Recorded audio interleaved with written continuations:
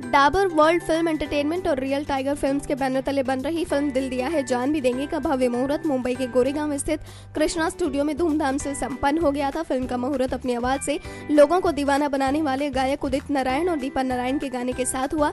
इस दौरान वे खुद भी मौजूद रहे और उन्होंने फ़िल्म के लिए बधाई व शुभकामनाएँ दी। साथ ही कहा कि फ़िल्म के टाइटल से ही प्रतीत होता है कि ये फ़िल्म काफ़ी रोमांटिक होने वाली है और लोगों को, खासकर युवाओं को, रोमांटिक फ़िल्में काफ़ी पसंद आती हैं। इसलिए मैं आशा करता हूँ कि अच्छी सोच और बेहतर विजन के साथ बन रही, दिल दिया है, जान भी देंगे, लोगों के दिल में उतर जाएगी। उन्होंने कहा कि फ़िल्म में मेरे भी गाने हैं, जिसके साथ आज इसका मुहूर्त संपन्न हुआ इसलिए मैं कह सकता हूँ कि फ़िल्म के गाने भी काफ़ी अच्छे हैं। फ़िल्म दिल दिया है, जान भी देंगे के भव्य मुहूर्त में फ़िल्म से जुड़े तमाम स्टार, कास्ट एंड क्रू व सिनेमा इंडस्ट्री के कई चर्चित लोगों ने शिरकत किया और फ़िल्म की सफलता की कामना की। बता दें कि भोजपुरी फ़िल्म दिल दिया है, जान भी देंगे। निर्माता दीनानाथ चौरसिया और दुर्गेश जाधव डाबरा हैं, जबकि फ़िल्म की मुख्य भूमिका में आदित्य मोहन, मोहिनी घोष सीमा सिंह के अलावा विनोद सम्राट और अयाज खान हैं। नेक्स्ट टाइम न्यूज़ रूम की रिपोर्ट।